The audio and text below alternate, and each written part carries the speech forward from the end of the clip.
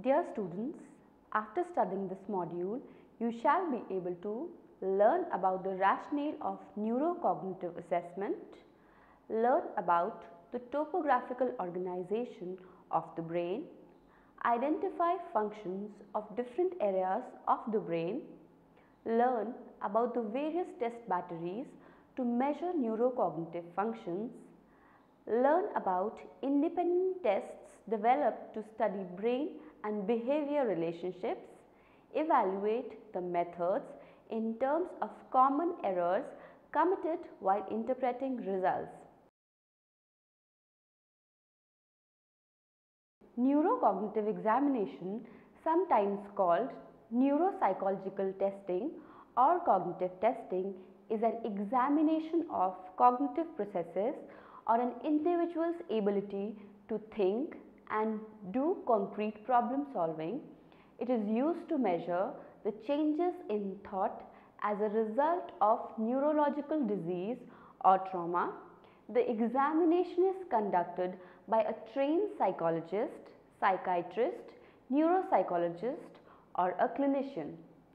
Neurocognitive examination is carried out to point the location of brain dysfunction without having to use brain imaging procedures or other invasive techniques. By giving certain cognitive tasks to be performed by the patient, an assessment of his neurological condition can be made which can later be confirmed by other sophisticated techniques. The major functions as controlled by various areas of the brain are executive functions including verbal, numerical, abstract reasoning, decision making etc. The other higher order cognitive functions are learning, memory, acquiring and using language, attention and perception. The ability to operate in a three-dimensional space that is operating in the visual spatial aspect and the motor coordination are also important for the neurocognitive examination. More specifically, neurocognitive tests measure abilities in areas such as receptive and expressive language, attention and concentration, memory, motor skills, sensory perceptual abilities, learning, memory, problem solving and decision making etc. The analysis of results reveals possible areas of brain where some dysfunction may exist. The main rationale behind neurological examination is that the brain is topographically organized for each small function performed by the organism. Failure to perform any task or test pinpoints an area of the brain that is dysfunctional. There are four major lobes of the brain, the frontal, temporal, parietal and the occipital lobe. The major functions controlled by these lobes are motor and executive, auditory, kinetic and tactile and visual respectively. Each lobe may be functionally divided into primary, secondary and associative areas. The primary areas are the main sensory processing centers. The secondary areas are related to perception of the stimuli and the associative areas provide an integrated perception involving input coming from several sensory modalities. Major lobes of the brain and their functions are depicted in the following figure.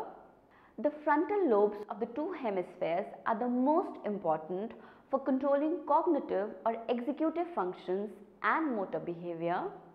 The prefrontal lobe is specialized for all kinds of reasoning tasks decision making, long term planning and impulse control and personality characteristics. It is also involved in seriation of meaningful stimuli. The major pyramidal and extrapyramidal systems to control for motor behavior originate from the primary motor areas of the frontal cortex. Bilateral control of movements and sensory motor coordination is also achieved to the normal function of this lobe. One area called Broca's speech area is the control center for spoken language. Any damage to this area results in expressive aphasia or inability to express oneself through spoken word or language.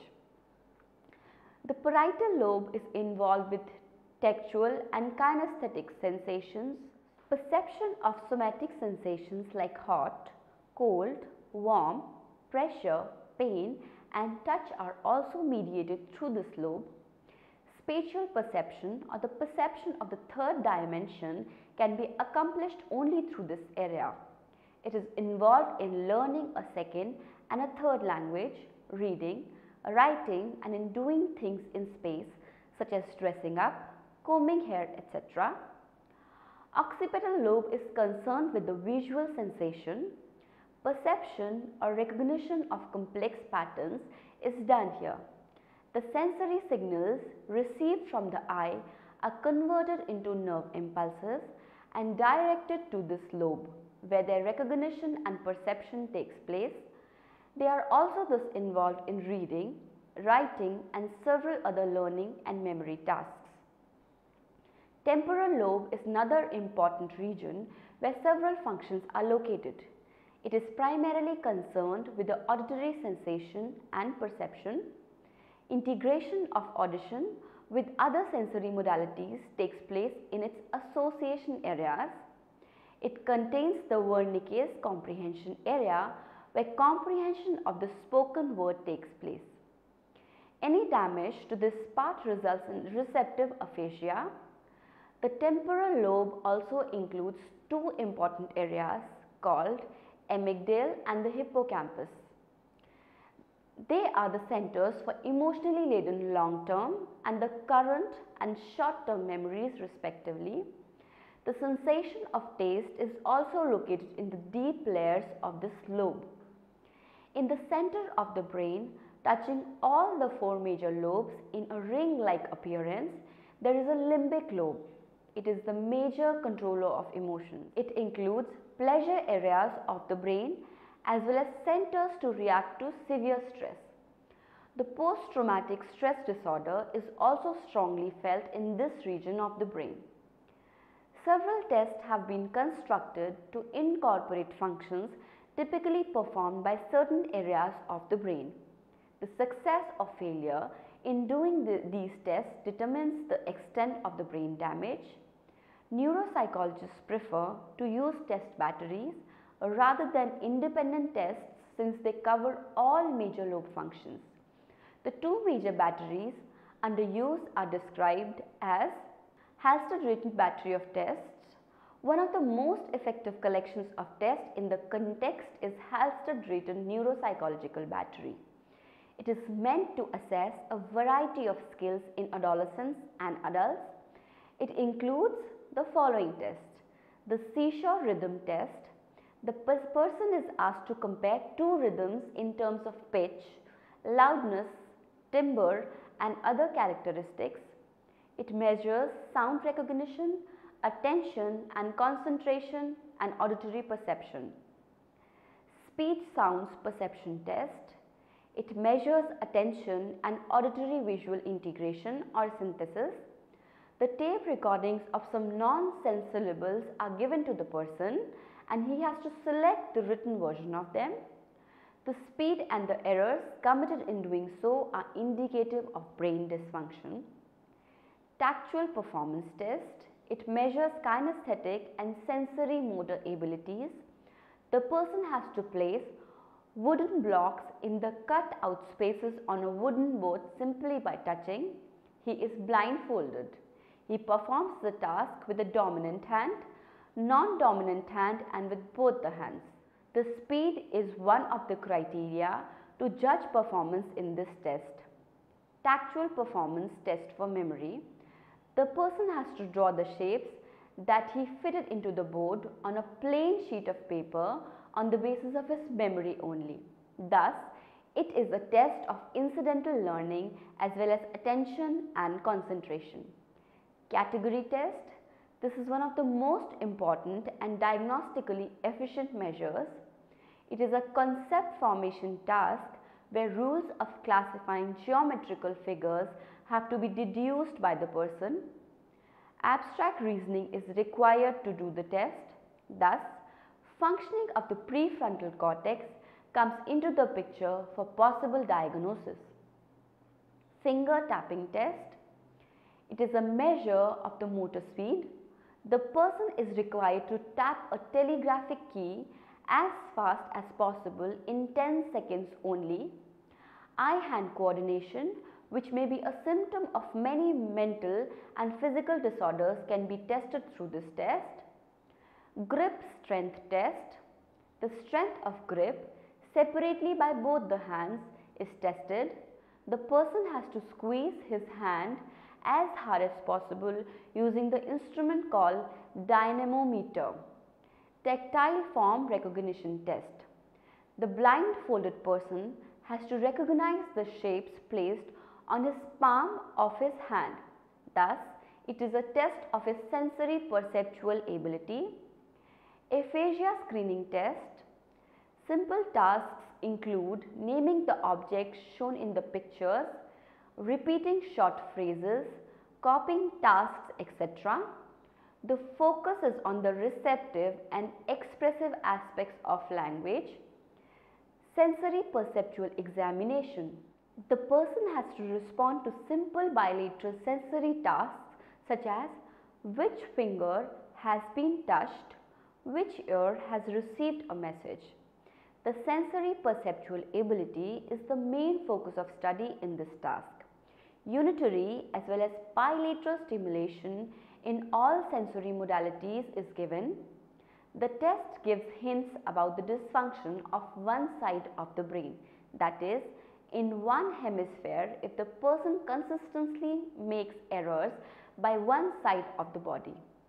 Considering the fact that the brain is contralaterally organized for function and also that all sensory experiences are topographically organized in the brain, one could infer a lesion in the left temporal lobe if the message into the right ear is not consistently and accurately processed by the person.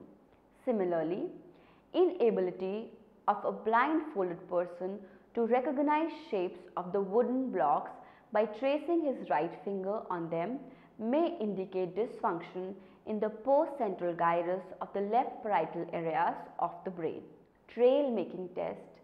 In this test, the person has to join letters, numbers as guided in a complex picture. The speed is the main measure of response. The scanning capacity and mental flexibility can be tested through this test. Besides these tests, some other supplementary tests have also been recommended.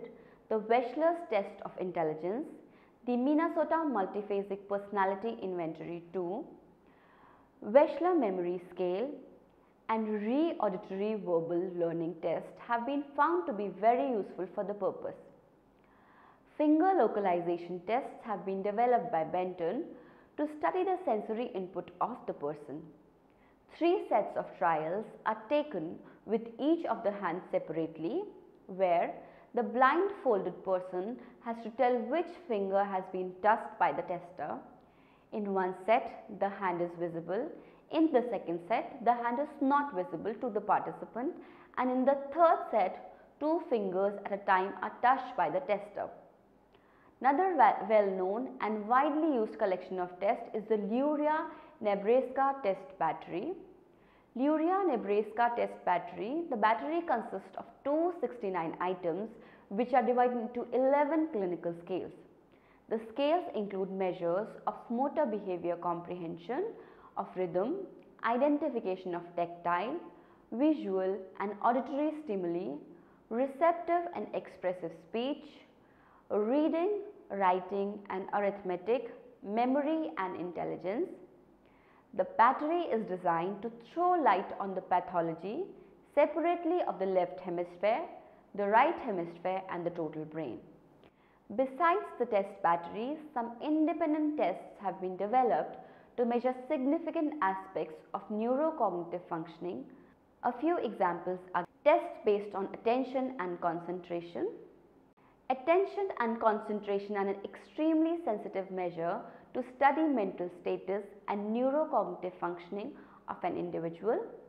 They consist of the ability to filter out irrelevant information that is selective attention, shift attention flexibly, mental tracking of target and maintaining vigilance. Robertson et al. 1996 have developed a test of everyday attention also known as TEA which measures several subcomponents of attention. It is applicable for a wide age range of 18 to 80 years. The normative data is available for Alzheimer's, closed head injury and stroke patients as well as for normal population. Subtests of TEA include the following. Map search is a test in which 80 symbols have to be searched in a short time. So, it is a test of selective attention. Elevator counting is a test of sustained attention and elevator counting with distractions is a test of divided attention. Auditory elevator counting with the help of tape recorded sounds, auditory elevator counting with distraction, visual elevator counting with reversals. Auditory elevator counting with reversals have become very popular to measure attention and concentration processes. Telephone search where in a classified directory the names as well as a few symbols have to be searched is a test of divided attention by the participant is another example in this area. Lottery test requires the participant to listen to winning numbers and to recall numbers with some specifications that is full number of the series which ended with 66 etc. Continuous performance test based on the logic of the signal detection tests is widely used in the neurocognitive examination. The person has to press a telegraphic key as and when a given target, a letter, a digit or a letter appearing with another letter appears in the series, they have been found to have good diagnostic value in conditions of attentional deficit and hyperactivity disorder, drug effects, schizophrenia and other brain impairment conditions. A large variety of such tests has appeared. Visual and auditory tasks have been devised. They have been used to diagnose learning difficulties, reading disorders and emotional problems as affected by dysfunction in the brain. Auditory serial addition and serial subtraction tasks have been devised for the diagnosis of brain function via study of sustained attention. In such tasks, either the number have to be added in a series that is first with second, second with the third, presented and so on or they have to be serially subtracted. Serial subtraction is similar to the task recommended in the mini mental status examination where beginning with hundreds, 7 are to be subtracted from each resulting number. Other tests to measure various aspects of attention processes are digit span, and coding or substitution test in Wechsler's intelligence scales, Smith 1973 devised symbol digit modalities test on the lines of the Wechsler's coding test. In this test, numbers are printed on the page and the examinee either has to write its code underneath it or to speak it out. If the examinee speaks them out correctly but fails in writing them, a motor output dysfunction may be inferred. Tests based on learning and memory. Learning and memory are higher order functions. Their location on various brain areas has been widely studied. Verbal learning is primarily lateralized in the left hemisphere frontal cortex where pictorial memory is controlled by areas in the right hemisphere. Short term memory is localized in the hippocampus whereas long term memory is located in amygdala and some other areas of the brain. So, learning and memory tasks have high diagnostic value. Wechsler's memory scale consists of tests like verbal paired associates, logical memory, letter number sequencing, spatial span etc. It has been reported that the patients of Alzheimer's disease and traumatic brain injury scored much poorer compared to normal showing high diagnostic value. The test has been found useful in testing memory loss in closed head injury patients, schizophrenia and alcoholism. For clinical research into memory, a Rey auditory verbal learning test has been consistently used. The special feature is to test memory as a function of distracting stimuli. A recall as well as recognition score is obtained. The norms are available for very old population also making it useful for the cases of dementia besides other conditions of memory dysfunction related to brain abnormal functions. Fuld object memory evaluation is another test for the elderly population. It has been used to confirm the diagnosis of Alzheimer's disease. The special features of the test are selective reminding of the omitted items, introduction of distracted tasks in between, delayed recall and a multiple choice recognition test. The test is very useful in detecting dementia in its early stages. Norms have been provided for nursing home residents in their 70s and 80s. Another major area for assessment of neurocognitive functioning is the language. It provides insight into the functioning of left hemisphere. The functions related to la language are reading, writing, speaking and comprehending the spoken words. Any loss in these functions due to the brain damage is called aphasia. Some of the distinctive signs of aphasia that may occur in spontaneous speaking may be inability to find right words, may use neurologism, repetition of sentences and phrases, failure to comprehend simple instructions, reading text, writing if not otherwise neurologically handicapped and doing simple calculations. Several standardized aphasia screening tests have also been developed.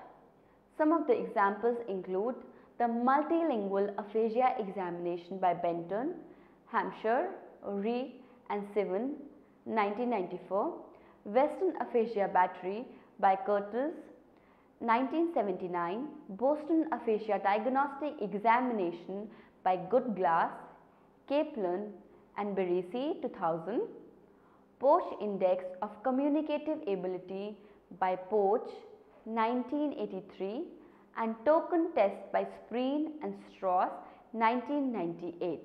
Test based on spatial perception Drawing tests such as the Bender Visual Motor Gestalt test have been used to diagnose the visuospatial and manipulatory or constructional abilities.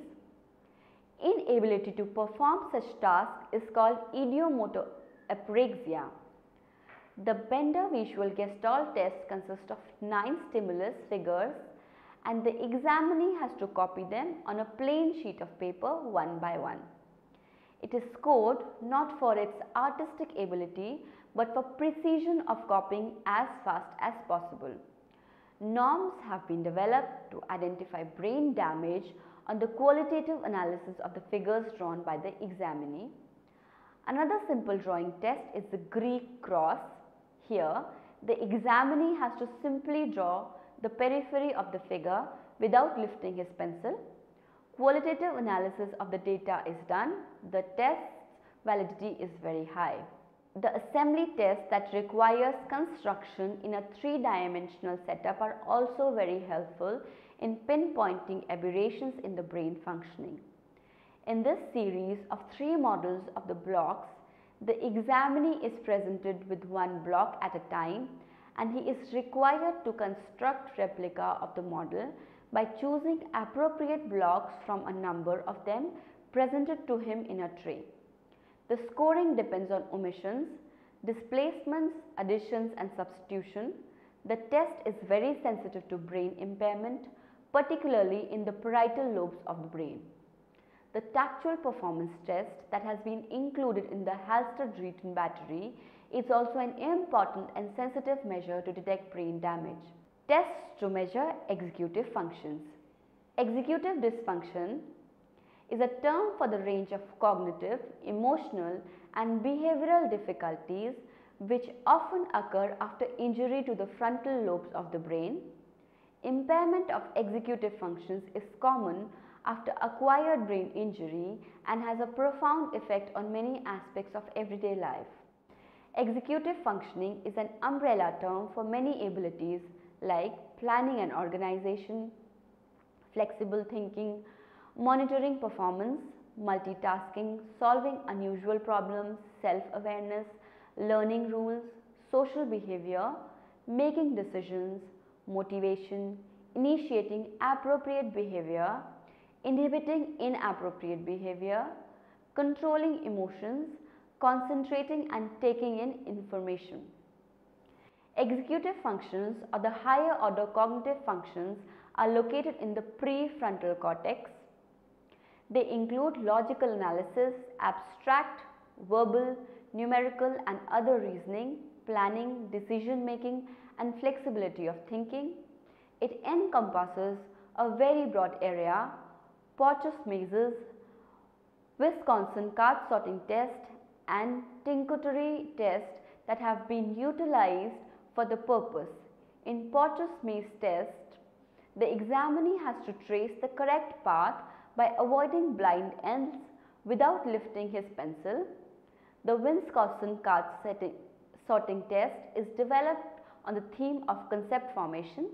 The examinee has to arrange the large number of cards into different piles according to various criteria like size, color, etc. Thus, abstract thinking and mental set shifts are measured in this test. In the Tinkertoy test, 50 pieces of a Tinkertoy set are placed on a clean surface and the examinee has to make whatever he wants to with those blocks. The scoring depends on the number of pieces used, mobility of construction, symmetry, naming of the construction, etc. The result successfully points towards closed head injury, Alzheimer's disease and other conditions of the brain damage.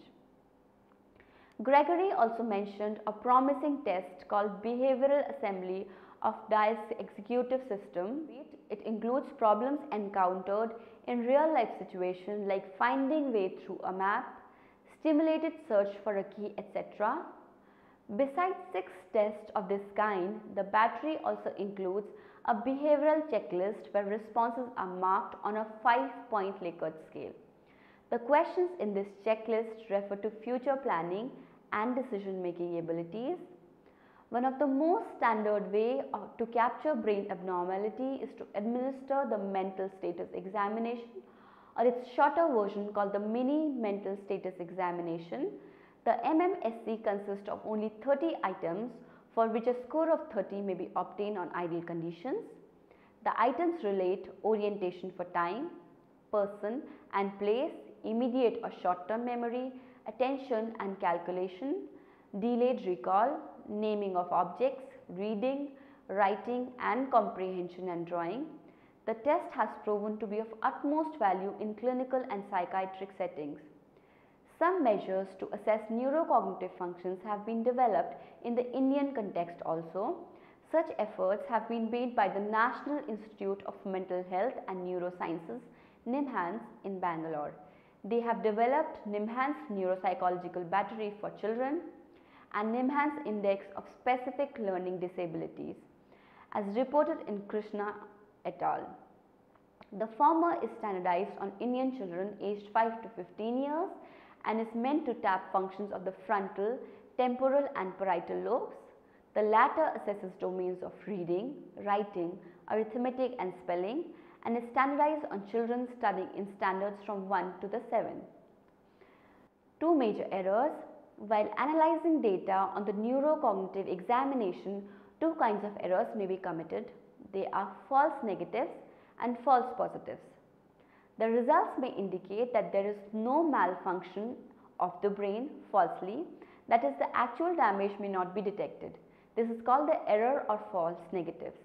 The error of false positive occurs when a dysfunction of the brain is concluded on the basis of the analysis of data when actually there is no problem with the brain. Both these errors are of serious nature and require cross validation. When is referral for neurocognitive examination needed? Referrals are typically made to diagnose or rule out dysfunction of the brain. This information also helps to describe the identified conditions impact on the patient's daily functioning. Examples include traumatic brain injury, epilepsy, Parkinson's disease, multiple sclerosis, brain tumor, stroke, Alzheimer's disease and other types of dementia. The analysis of results of the test goes to the doctor and he uses this information to make decisions regarding treatment. These tests are also useful for the follow-up studies of the patients after treatment.